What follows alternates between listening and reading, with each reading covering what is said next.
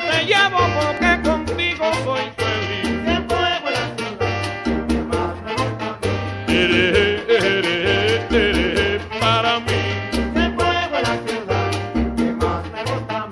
buenas tardes. En una verdadera jugada perfecta le saluda Héctor Villara desde Cienfuegos, la perla del sur. Y aquí tenemos en su cajón de bateo natural a un hombre que tengo que presentar como una de las entrevistas que me faltaba en mi carrera profesional. Hoy estoy cumpliendo un sueño y lo voy a hacer así, con los atuendos rojos del equipo Cuba, porque esto es televisión, es imagen, como él lo hacía, poniéndose las mangas hacia arriba y a enfrentar al gigante del Escambray, Antonio Muñoz. Muchas gracias por esta jugada perfecta que tú has venido desde La Habana hasta Cienfuegos para realizar este sueño. Si tú fueras piche, yo ya a ti no te bateaba, porque tú eres un gran lanzador de la jugada perfecta. Muy bien. ¿Cómo se siente en su cajón de bateo aquí en Cienfuegos? Pues me siento muy cómodo y en estos momentos Pedro José Rodríguez y Antonio Muñoz estamos trabajando de scout con los talentos y estamos revisando todos los equipos que vienen por aquí para ver qué talentos pueden servir para futuro más adelante del béisbol cubano revolucionario. Por supuesto que quisimos hacerlo en este cajón de bateo donde lo hacen los siniestros y donde tantos años jugó este grande. Es Antonio Muñoz. En una verdadera jugada perfecta de lo que a usted le gusta. La pelota, profesor, así usted impresiona. Esa espada y ese tamaño. No, no, no, no, que no. Entonces no le puedo lanzar. Vamos a sentarnos, por supuesto. Tenemos unas banquetas preparadas. Y qué mejor set que este, el 5 de septiembre. Gracias. Vamos.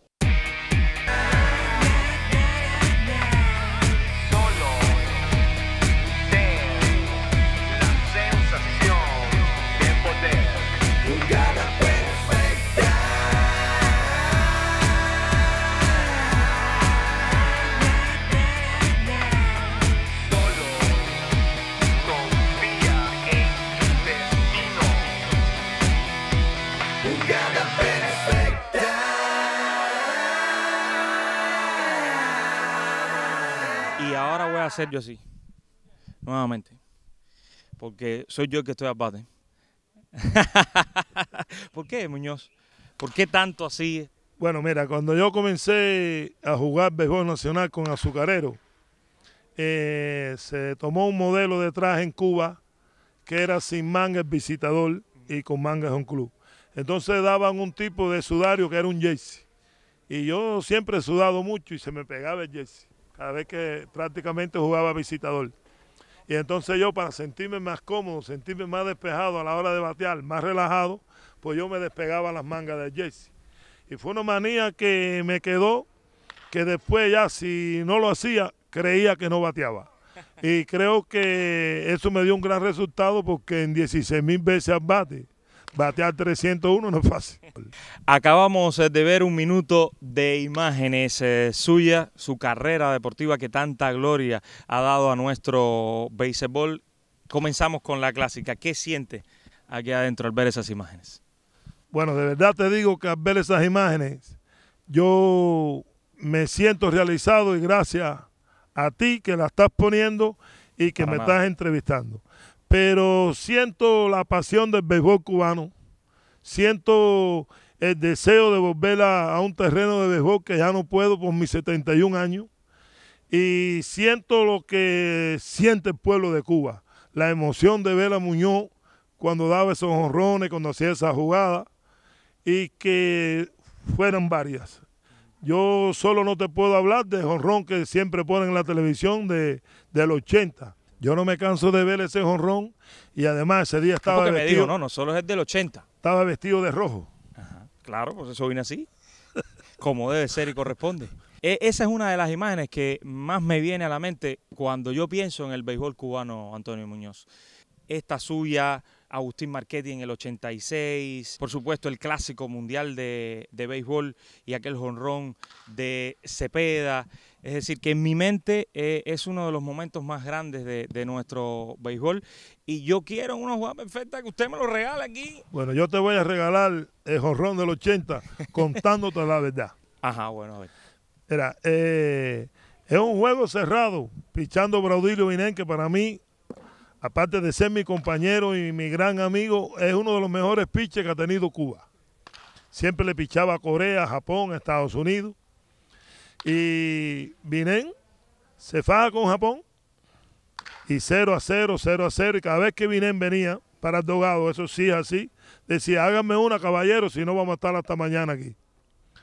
Y cuando nos sacan el, el sexto inning a nosotros, yo le digo a Pedro Jova, enciéndeme un cigarro cuando venga, que yo le voy a dar el jorrón al chino este.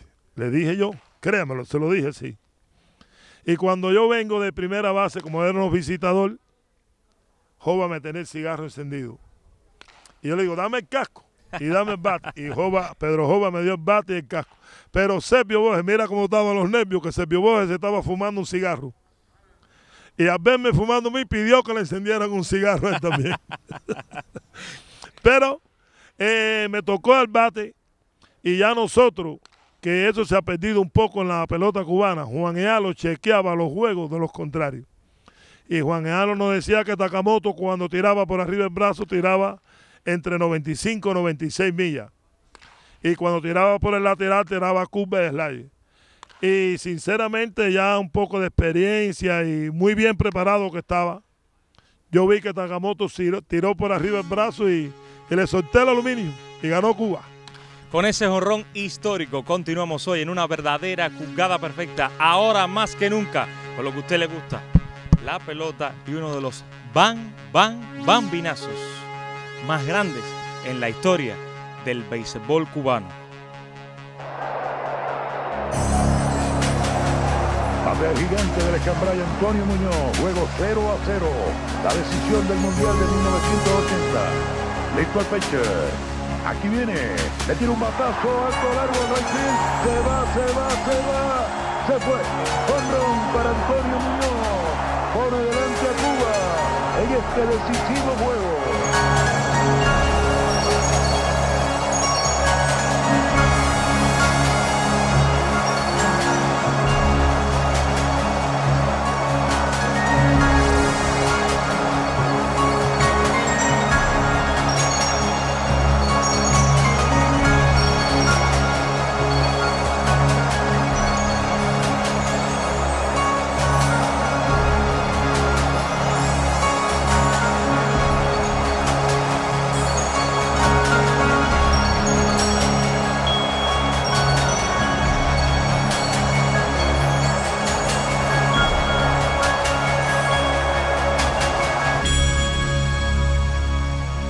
30 años de ese jonrón que vale la pena volverlo a ver una y otra vez. Muchas gracias por, por permitirnos estar aquí y por eh, disfrutar este jonrón conmigo y con los amigos televidentes en una jugada perfecta.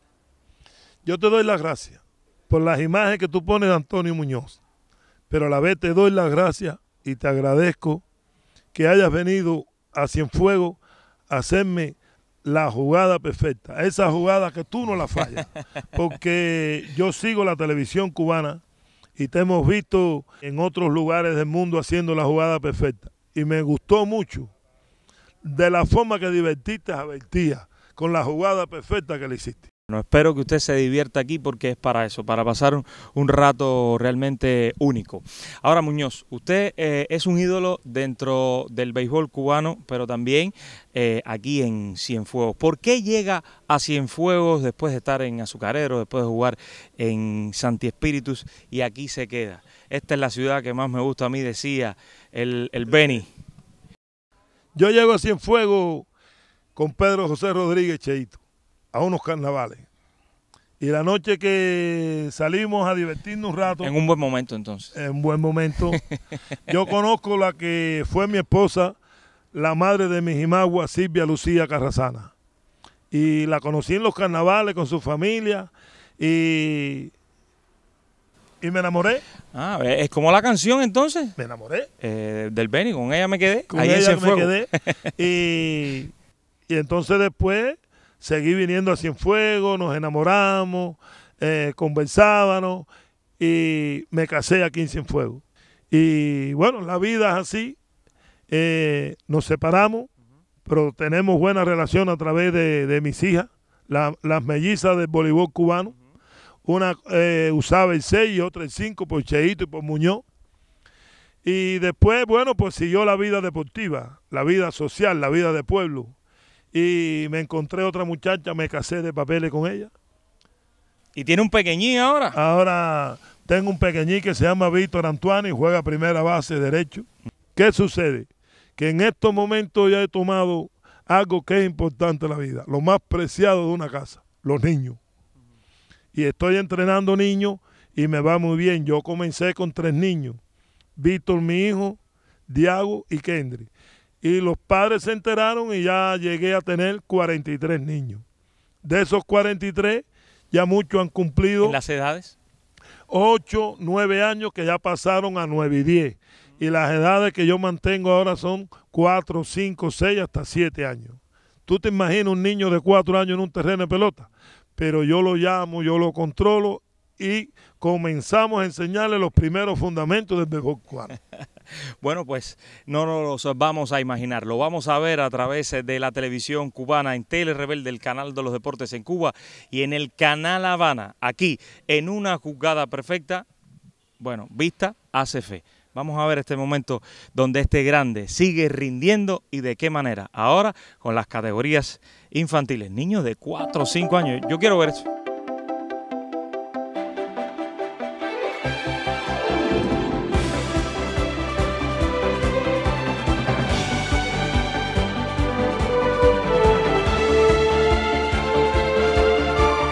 Yo quiero ser segunda base, quiero ser como Muñoz, porque Muñoz fue un gran pelotero.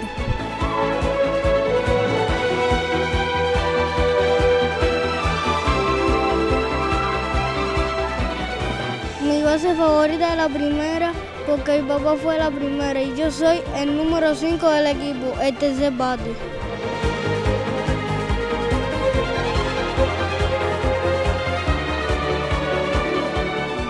Siempre he querido ser desde chiquito y, mi, y yo soy el segundo bate del equipo.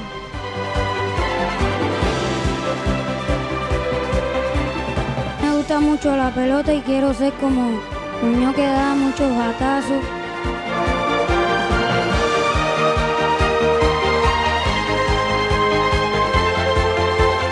Yo quiero meter un ronazo como Muñoz. Quiero ser un buen pelotero y me, y me siento muy bien con Muñoz aquí.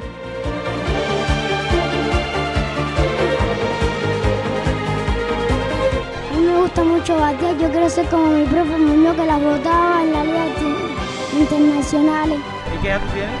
Ocho años, ¿Y qué tal al lado tuyo? ocho. ¿Cuántos años? Siete, ¿Y aquel? cuatro. ¿Cómo tú te llamas? Y ocho. Igual, ¿Qué base tú juegas? Sí, Phil. ¿Y qué, cuántos años tú tienes? cuatro. Ya fue campeón. ¡Desde Cienfuegos!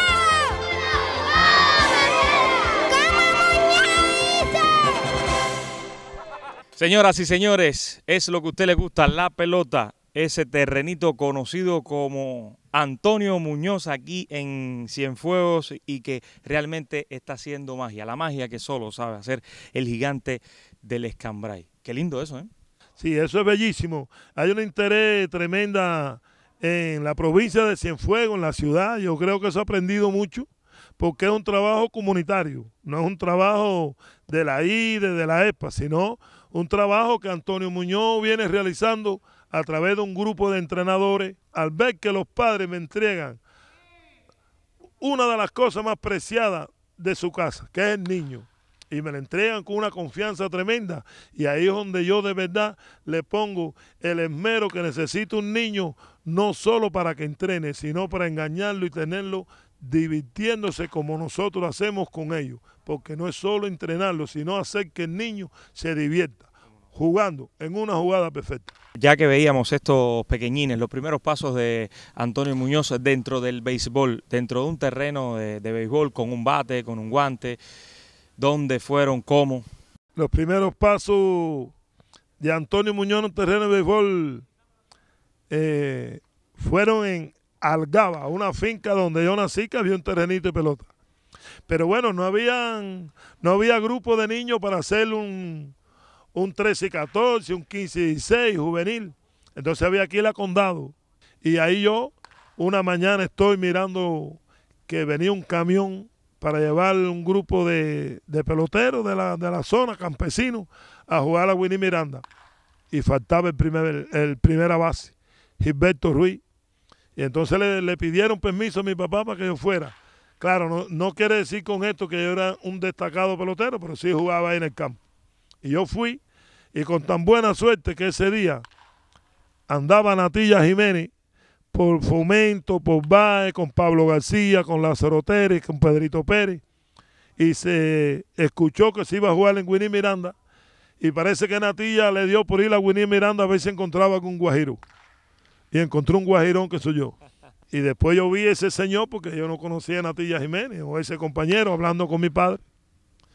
Y entonces le dijo a mi padre que me llevara a Trinidad un día determinado, que era donde él venía a hacer las pruebas. Yo fui a Trinidad y sí te puedo decir que cuando Natilla me volvió a ver de nuevo, que yo di dos o tres batazos, me dijo, ya no bates más. Te espero tardía en Santa Clara. Hasta los días de hoy que tú me estás haciendo la jugada perfecta. ¿De dónde surge el sobrenombre del gigante del Escambray? Eh, el sobrenombre de Gigante de la Escambray me lo pone Salamanca, Bobby Salamanca. Jiki Quintana me hace una imagen a mí que yo vengo bateando en un pico, una loma. Muy importante, muy bonito. Y le gustó mucho al pueblo. Y entonces Salamanca me puso Gigante de la Escambray y se me quedó Gigante de la Escambray. Y el número 5. El número 5 eh, es un poquito largo de, de contar, pero como estamos en una jugada perfecta, perfecto, te lo voy a contar. Adelante.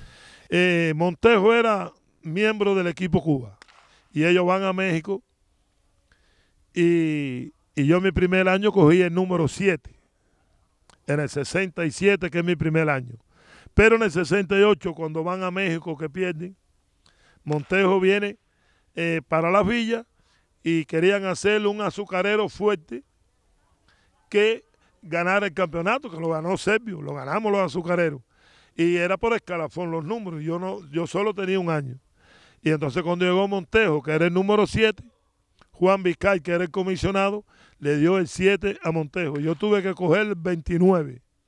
Pero cuando como, como Guajiro al fin, eh, novato de, de poderle enseñar a mi campesino, a mi padre, eh, los trajes de pelota en aquellos tiempos, eh, no les gustó mucho el 29.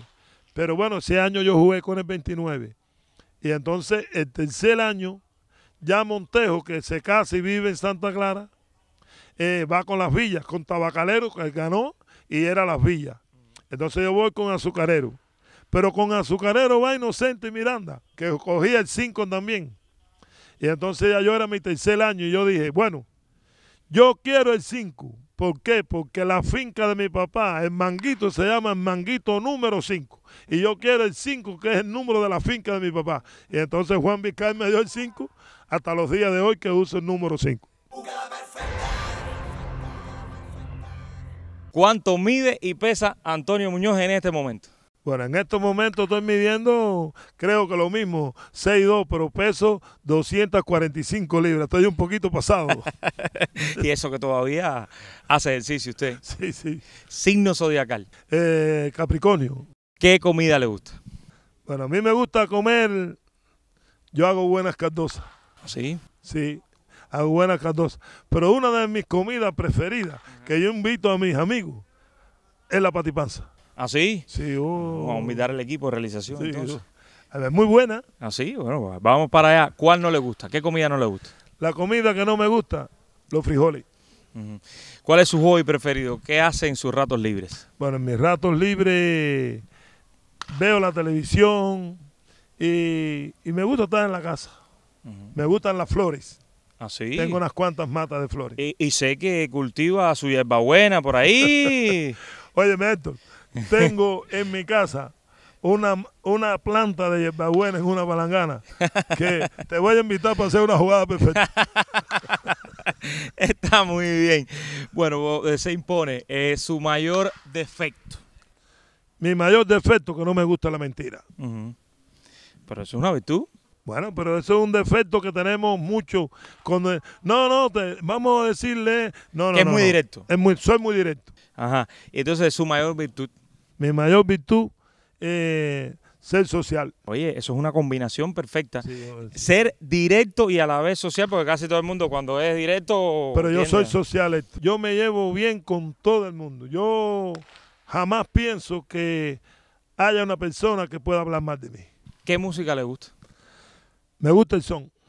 Me gustan mucho los, los- los temas de Alberto Álvarez. Yo fui muy amigo de, de, de Memé, el papá de Alberto. Y después seguí mucho a Alberto desde que venía con los Perincos en Camagüey. Después con Son 14, que cantaba Tiburón o canta Tiburón. Y ahora con Alberto y su son, pues sigo mucho a Alberto. Una jugada musical. Para usted, un cortico de Alberto Álvarez y su son y enseguida estamos de vuelta al 5 de septiembre. Pide el tema que usted quiera, que rápido se lo ponemos. ¿Qué tú quieres que le den? Ah, yo, Antonio Muñoz, el gigante del escambray. La casa está repleta, ya no más. Y todos se preguntan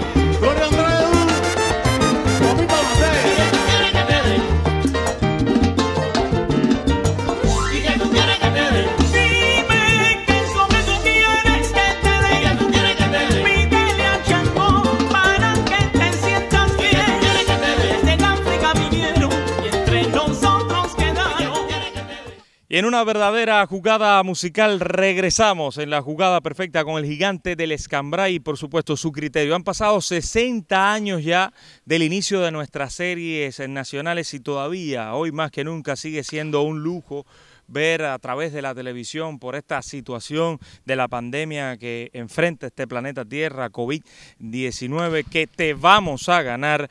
Y bueno, así todo, muchos piensan que no tiene eh, la calidad de antaño eh, Muñoz. Tenemos personas como usted que nos pueden ayudar, por supuesto, a descifrar qué es lo que estamos haciendo bien, qué es lo que estamos haciendo mal en estos 60 años que hoy se cumplen en las series nacionales. Ah, mira, yo entiendo que los 60 años que ha transcurrido de la pelota nacional cubana, en estos momentos de pandemia, en estos momentos difíciles que estamos viviendo todos, las cosas se están haciendo bien. ¿Por qué? Porque ese trabajo de recuperar el talento, de seguirlo, de después de, de agruparlo y llevarlo a una selección, eso es un trabajo que va a tener resultado en Cuba. Y hay algo muy importante en esta 60 serie nacional de béisbol, que los equipos, como se dice en el béisbol, vienen empujando. Otra cosa que yo no estoy, en lo que yo no estoy de acuerdo, yo lo digo, soy muy claro. Y si me estás entrevistando, te digo la verdad. Yo creo que no debe ser el manager del equipo Cuba el que gane el campeonato. Y yo creo que Estoy no, con usted. y yo creo que no debe ser el coche de tercera el amigo del manager. Tú puedes quedarle en el octavo o en el 12 y ser el mejor coche de tercera y ese es el que debe ir al equipo Cuba. Y debe ser el mejor coche de primera y es el que debe ir al equipo Cuba. Y como mismo se chequean los juegos, chequean los managers y el que tú veas con más resultados, con más estrategia, es el que debe ir al equipo Cuba. E incluso esa tesis de que no tiene que ser de los que están eh, dirigiendo en el béisbol, o sí para que vean a todos los peloteros que existen en la isla.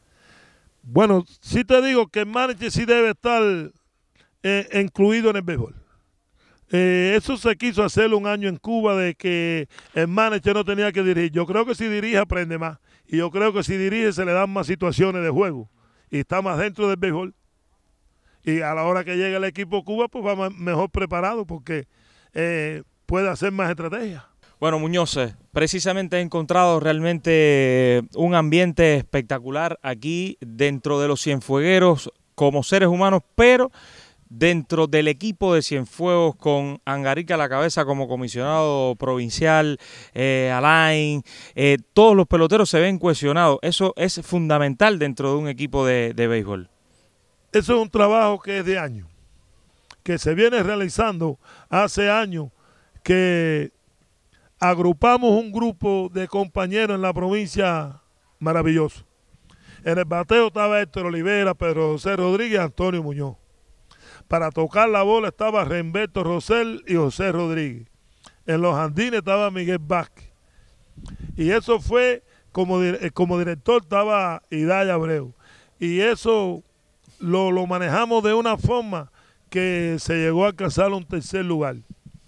Y después no, no, nos detuvimos un poquito porque hay hombres que piensan y tú tienes que dejar lo que piensan. Y pensaron de su forma y gracias a, Dios, como se dice, está muy bien. Y se nos, nos decayó un poquito el equipo.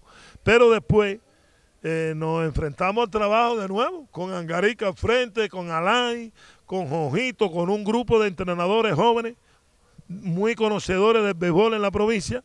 Y ya tú ves los resultados que tuvimos el año pasado, porque eh, clasificar entre los seis primeros de Cuba para Cienfuegos, una provincia joven, es un gran resultado. Y este año eh, le estamos dando un alegrón grande al pueblo de Cienfuegos. El mensaje para despedir este programa en una verdadera jugada perfecta. El mensaje que yo le puedo dar al pueblo de Cuba y en especial a la provincia de Cienfuegos y a ti que me entrevistas es que los atletas jóvenes sigan el ejemplo de Antonio Muñoz. Deportivo, fogoso, social, revolucionario y sobre todo patriota. Muñoz, y cuando no esté aquí físicamente, ¿cómo le gustaría ser eh, recordado por todos los compañeros que están ahora mismo detrás de cámara y que están atentos a cada palabra suya eh, por este comentarista y por el béisbol cubano? cuando yo no esté físicamente, el día que yo muriera, tenían que enterrarme en la tierra. Y sembrarme una mata de más agua que eso iban a ser los bates de más votos en el mundo. Entonces eso es lo que quiero. Y eso es lo que le pido a mi pueblo. Maestro, un verdadero placer, una verdadera jugada perfecta. Gracias. Gracias siempre a usted, el gigante del Escambray, no solamente por su estatura, sino por ese gran corazón que lleva las cuatro letras. Gracias. Cuba. Antonio Muñoz es Cuba, señores. Gracias, hermano. Listo el pitcher. Aquí viene. Le tira un batazo alto, largo, field. Se va, se va, se va. Se fue. Honrón para Antonio Muñoz.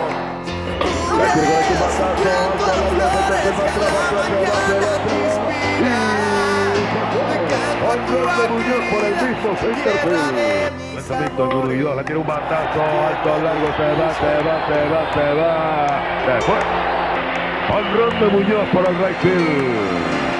Casi por. Aquí viene, le tira levanta un fly por primera. Se está acabando el mundial.